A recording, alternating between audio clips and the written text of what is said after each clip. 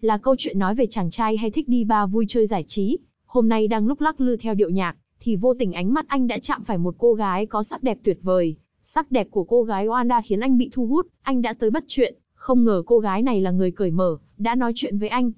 Một lúc sau thì anh còn được cô gái đề nghị đi vô nhà vệ sinh công cộng,